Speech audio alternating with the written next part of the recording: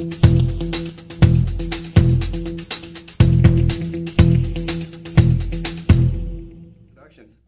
hello, everyone. My name is Matt Piper. I'm the Global Industry Solutions Director here at Esri. I'm based out of our Redlands, California office, and I've been here about four and a half years now. Um, and in that time, we've seen a lot of change already, not just in the Esri technology stack, but you know, in the evolution of what's happening in the industry. I'm pretty excited to be here um, on Geo Awesomeness. Uh, what a great name for a, a community meetup to get together. Uh, and I just want to thank Tony and um, Patrick for their presentations this morning because they've set this up really nicely that I don't really have to go too deep into the technical stuff that they're presenting. So um, looking at what they've gone through, I just want to share some of the innovations and the technologies and really what GIS is doing for utilities at the moment and how hopefully it gets you thinking about this notion of what we call the, the geographic approach and I guess the, the way of thinking spatial to solve business problems. And I always talk about this like as a relationship to my, my children in that almost everything they do now in their life is driven by something that's related to spatial. And it could just be my daughter driving up to the corner store. She always gets in the car. She starts the, you know, the navigation system with a map because she wants to find the most optimal route with traffic, so it saves her on petrol. Um, my son, whenever he goes for a jog, he'll always bring up um, his running app and he'll track everything before he does it on the map.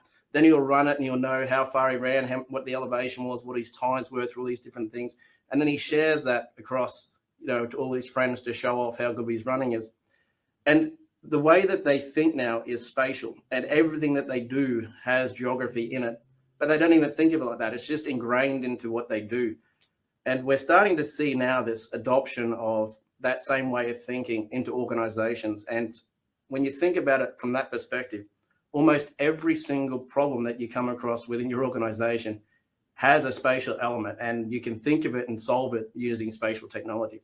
So I think it is a pretty exciting time in the industry. As I said, I've been in the industry for quite a long time, but it is rapidly um, innovation at the moment. The growth in innovation is really exciting. So when we look at some of these challenges that we're facing um, from the utilities perspective, I mean, it's it's climate change, it's urban population, it's these new resilience challenges, it's aging populations, it's sustainability there's so many new challenges coming. And as I said, as a, as a young engineer coming through about 25 years ago, one of the benefits of being an engineer at the time was, well, the grid hasn't changed in 100 years. So you could pull out a 20 year old textbook and you could learn how to become a power engineer because that's effectively how you manage the grid. If the load increased, you just built a new substation or you just extended a new bay at the end of the, um, the substation to pick up the new load. But really, what we're seeing now is the grid is changing and the, the, policies and the regulations are changing. And we really do need to think differently as an industry. So it's it's actually forcing so much new innovation into this space. So for young people coming through, or for you know the the innovators in this space, the the opportunities are significant to think differently and challenge a lot of the ways that we've worked in the past. So what I'm going to talk through today is just really some of the ways we're seeing geography and the geographic approach being applied into some of these common workflows. And I'm going to start by looking at probably one of the most common workflows that we we look at in a, in a utility, and it's it's it's asset management. And this is something that I guess utilities have been doing forever. They've been putting assets, you know, into a register. They've been managing them. Tony covered it off really nicely. Um, you know, we've we've always ran utilities based upon what we would call routine maintenance. So we just go out in a cycle every two years, three years, four years, we go do maintenance and we go do these inspections. Um, in the last number of years, we've been challenging that, you know, methodology and starting to capture effectively failure um, or condition defects to understand, well, why are things failing?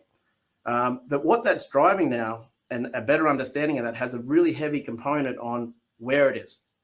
So an example is a wood pole near the coastline will have different failure rates to a wood pole inland. So it'll have, you know, um, potentially, you know, high rot um, based upon a wood pole. And a steel pole cl close to a coastline will have, you know, different failure rates to a steel pole in the coastline.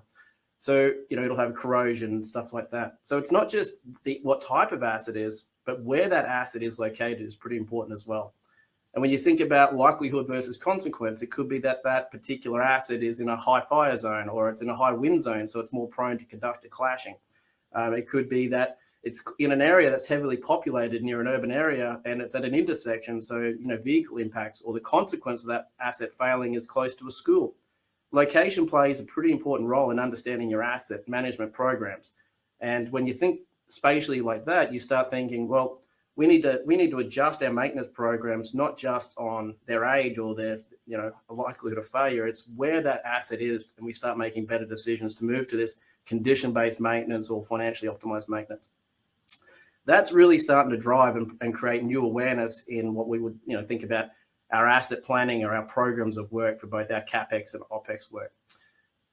When we when we think about now taking that same concept and you know traditionally indoors, it's just been a dot on a map. It's just a it's just a single point.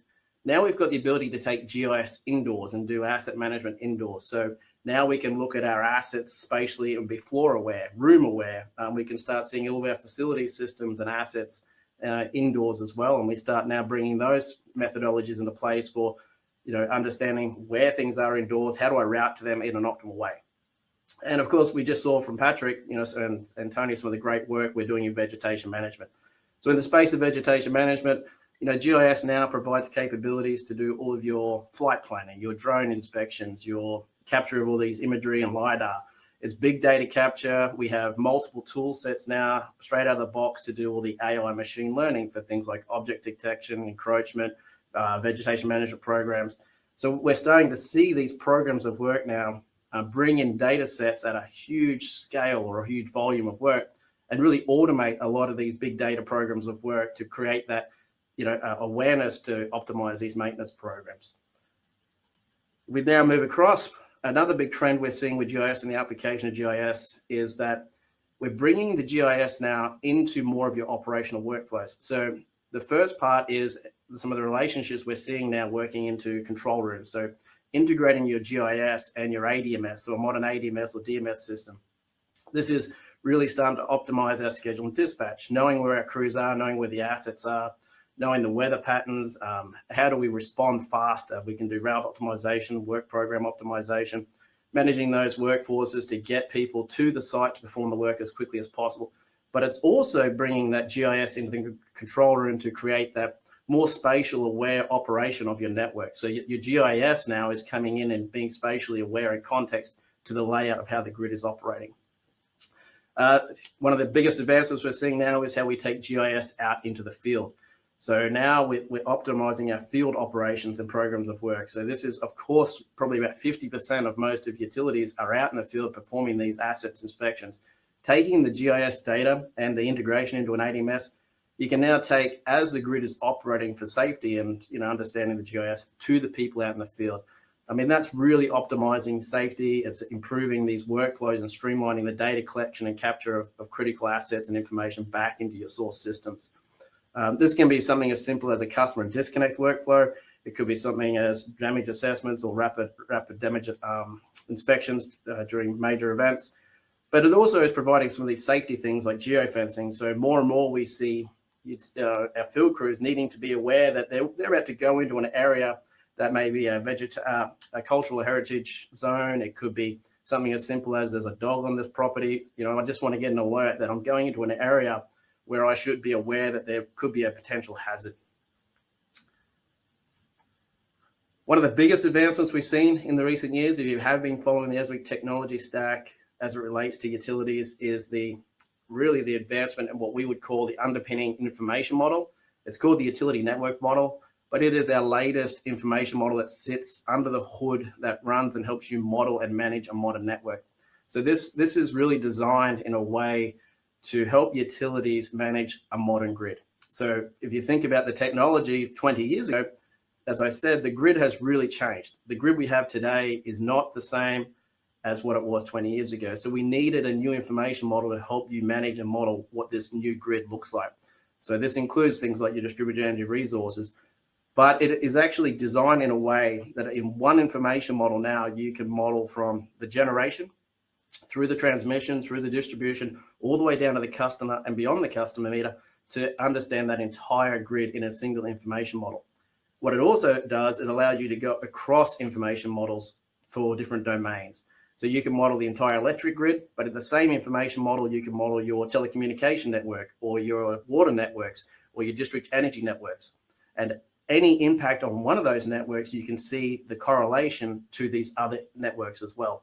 So this is really transforming when you think about modern infrastructure management. You start seeing all these different models come together to help you make better business decisions. So this aggregates up to really help with things like smart cities and better understanding total infrastructure management as it relates to, I guess, coordination planning across those different domains.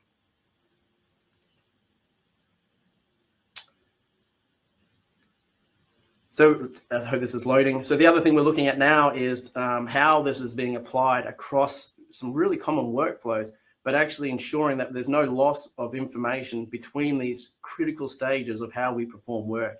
So if you think about project management or project delivery, you have this workflow of we plan, design, we build, we operate, and we maintain. So the GIS now is being used all the way through this different life cycle. So we have this these capabilities for you know reality capture and integration. So we're going out now and we have the ability to do imagery inspections and capture information and integrate that back into our source systems. One of those information models that we work with now is, is BIM modeling. So this ability to bring in really high resolution 3D BIM models, integrate that back into our GIS so we can see things in really high detail. Um, it's, it's connecting those workflows for the design into a, into a level for utilities that we haven't been able to do before. So if you think about how you manage a substation or a water treatment plant, these are really helping us bring those assets to life in, in 3D visualizations. We can now move that along and understand projects and uh, their process and tracking throughout the project lifecycle in both 4D and 5D. So as we move between you know GIS and 3D, we can bring in things like time and cost and understand how those projects are tracking throughout their life cycle and we integrate to, into other systems, you know, that are doing the project lifecycle management as well. And finally, the other thing that's probably really leading the way here and how GIS is being pervasive across different industries is how it is enabling the sharing collaboration.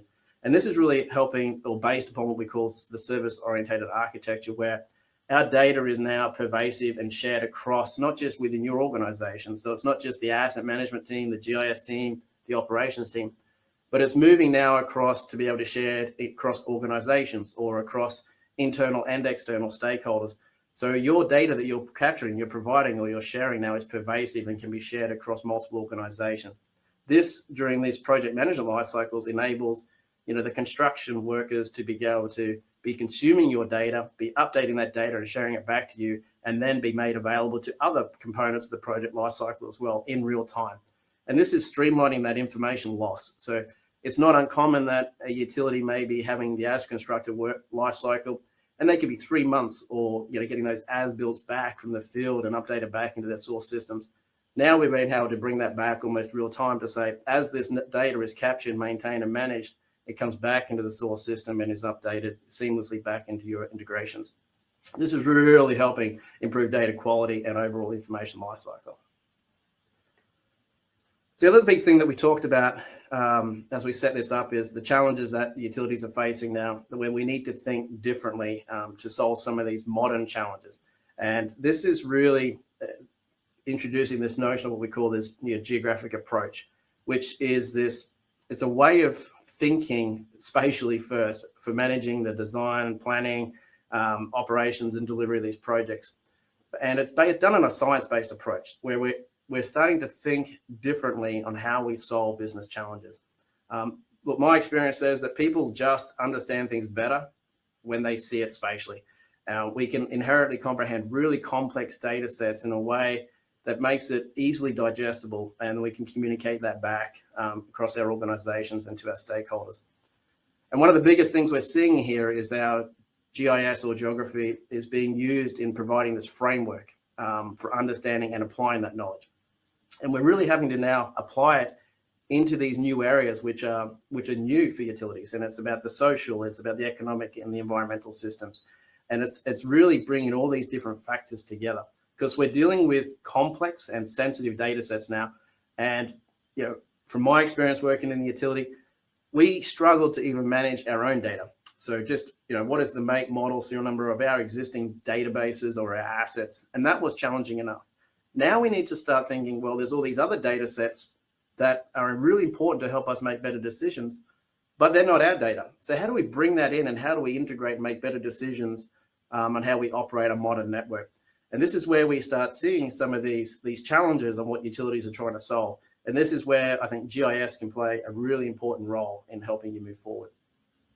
So one of those areas where we're seeing a lot of lot of interest right now um, as we as we talk around the world is is on sustainability and how is GIS being used to help your organizations you know move into a more sustainable uh, future and as, as every utility is moving towards these sustainable development goals we start thinking that this geographic approach is really going to be imperative um, to creating this sustainable future so Already GIS is being used uh, to help you with site situation awareness. So things like where do I put my um, solar farms? You know, where is the, the highest solar uh, potential? Where is the high wind areas? Uh, where, where, where are they connected closely to a transmission line to reduce losses? Um, situation awareness is important for site selection. We're starting to see more advancements in not just understanding, you know, based upon load, where do we put solar panels on people's houses, but actually what is the solar potential, not just of the house, but of the entire circuit. Uh, there's a there's a graphic showing on the screen here. You know, we're starting to see solar potential now of, of understanding entire cities and rooftops to understand using machine learning how much potential based upon average hours of sunlight can we achieve by putting rooftop solar panels on rooftops. EV charging stations down the bottom there is one of the hottest topics right now in the industry, and there's a lot of work being done to better understand you know, using GIS, okay, where is the where is the infrastructure required to support the amount of electric vehicles going to be coming onto the grid? How do we reduce range anxiety? How do we ensure that there's the right number of EV charging stations on the grid? Who is likely to purchase these electric vehicles in, in the next number of years? Uh, how is this going to impact our grid moving forward? Where do we need to introduce the new generation uh, to support this um, extra load onto the grid? So many questions are coming in, uh, and they're all spatial. So uh, right now, there's a lot of work being done using GIS to help better understand the impact of EV charging stations and, and the impacts to the future grid. Another really important topic right now as we start seeing the impacts uh, to climate change is how do we make our networks more resilient? And typically when we talk about resilience, most people automatically go to, well, it's the it's the impact to, to you know, the major events that we're having, these major disasters and it, it is true. Um, we, we are getting hit by you know more natural disasters, and they're they're at a higher frequency and a higher ferocity than we've seen in the past. But it's it's so GIS has been used to, to help understand you know how do we how do we plan, how do we respond, how to recover faster. But we're also seeing as we talk about resilience now, well, we need to be resilient to what the modern grid's going to be. So what is that as we just talked about? What's the impact to this you know changes in the new network models of distributed energy resources coming onto the grid. What is the future going to look like? How do we run these scenarios over the next one, five, ten years to see how do we make our grid more resilient? There was a question earlier I thought was interesting. Why don't we just put all um, power lines underground? Well, that's one way to improve resiliency. That this is true, but it does come at a cost. Uh, so, so, you know there is there is ways we're looking at how do we how do we maximize our or improve our resiliency in, in, in all these different ways when I traveled to Bangkok a couple of months back, uh, we asked this question on a panel about resiliency. And the highest topic for them was not about natural disasters, even though they do get their fair share of, of typhoons down in that region or hurricanes.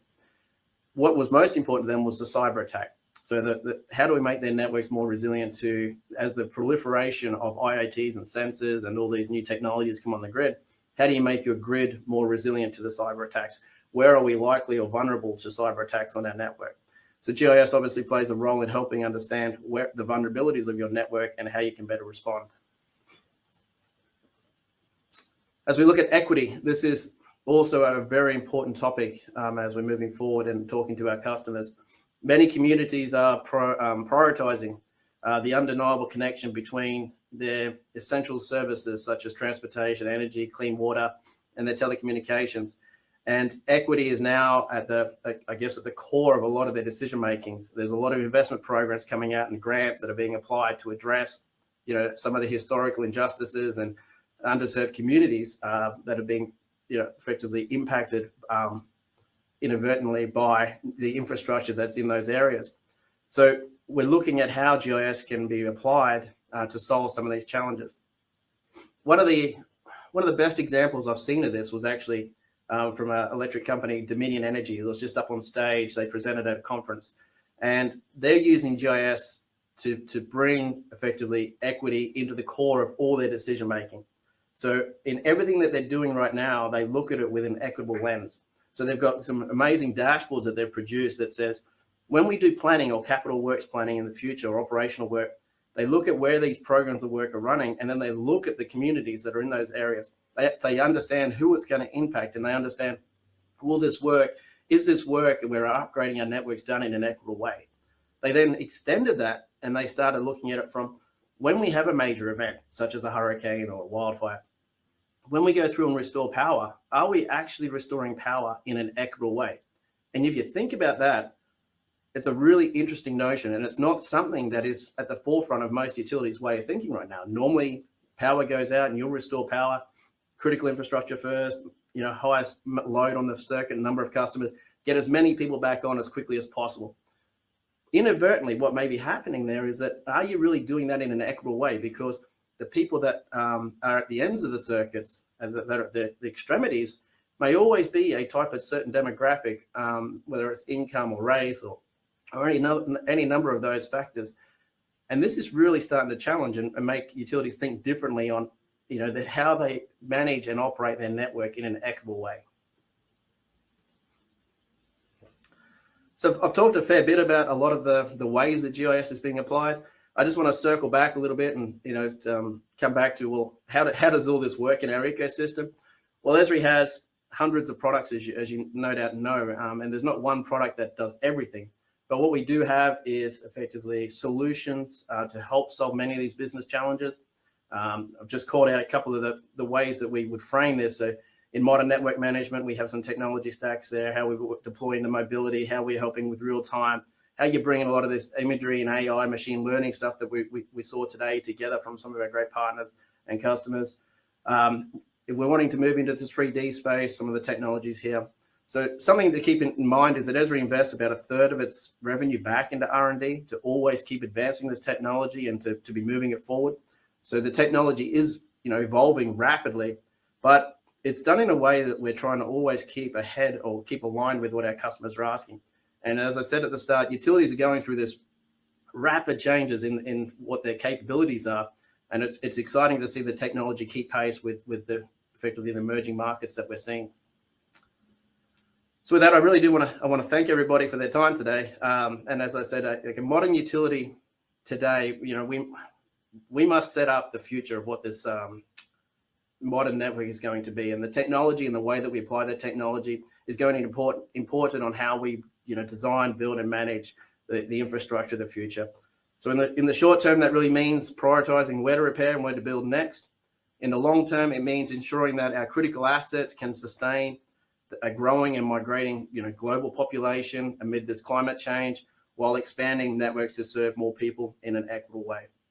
So, with that, I just want to I want to thank everyone for their time. Um, my details are at the bottom here. If, if anyone wants to reach out, um, we're happy to happy to answer any questions. With that, I'll pass it back to Mutar.